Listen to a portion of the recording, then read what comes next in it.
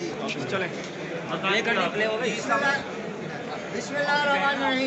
आज हम लोग बहरिया के अंदर एक ऐसे इशू के लिए एक हक और सच के इशू के लिए जमा हुए हैं कि हमारे लोगों को इन लोगों ने प्लाट भी नहीं दिए और पैसे भी रख लिए।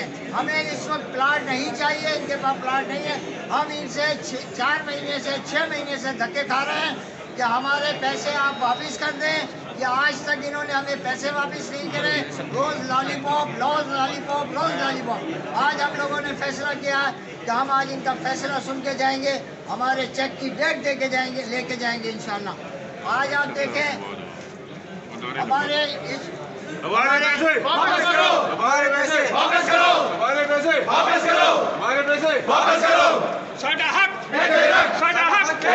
साडा हक ये हमारी ये हमारी माएँ, बहनें अपने घर बार छोड़कर, अपने बच्चों को छोड़कर, अपने पैसों की वसूली के लिए आए हैं। इनके हस्बैंड ने, इनके बच्चों ने खून पसीने की कमाई इस बहरिया के अंदर इन्वेस्टमेंट की, इस बहरिया के अंदर प्लॉट लिया उसको एक आसमान पे चढ़ा दिया। ये ज़मीन इसकी रोड पे बैठी हुई थी, इसी ज़मीन बंजर थी, वीरान थी।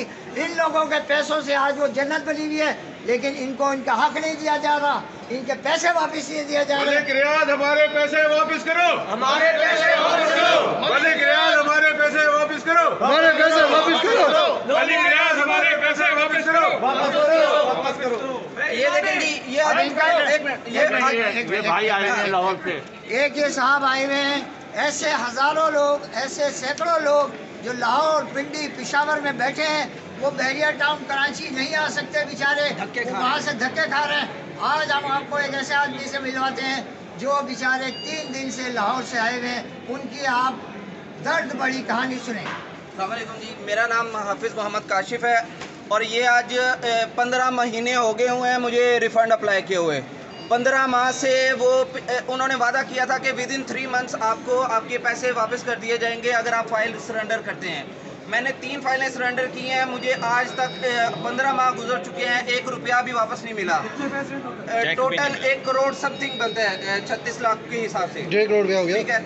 और आ, आ, क्या लाहौर बैरिया टाउन वाले सिर्फ़ डमी के तौर पे काम कर रहे हैं। वो कुछ नहीं कोई हेल्पफुल नहीं है। ये देखें मैंने बारह दफ़ा एप्लीकेशंस भी जमा करवाई हैं। ये उनके स्टैम्प्स भी लगी हुई हैं। लेकिन आ, वो कहते हैं कि जी जो बात करनी है आप बैरिया टाउन कराची से जाके बात करो। हम हम आपकी एप्लीकेशन फॉरवर्ड तो कर सकते हैं इसके अलावा हम कुछ नहीं कर सकते।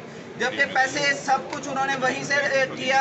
आज जब हम उधर पैसे लेने के लिए जाते हैं तो वो कोई भी बात सुनने को तैयार नहीं। इसके अलावा हमारी तरह उधर सैकड़ों लोग ऐसे हैं जो आके लाइनों में लगे हुए हैं क्यूज में लगे हुए हैं लेकिन उनको सिर्फ़ यही टोपी ड्रामा करवाया जा रहा है।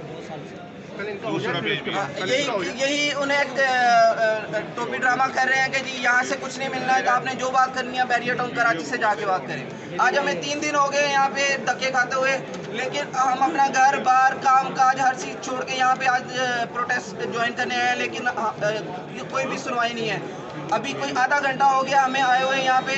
कोई मैनेजमेंट का बंदा आके हमारी बात सुनने को तैयार नहीं है और कोई आके हमारा प्रॉब्लम रिजोल्व करने को तैयार नहीं है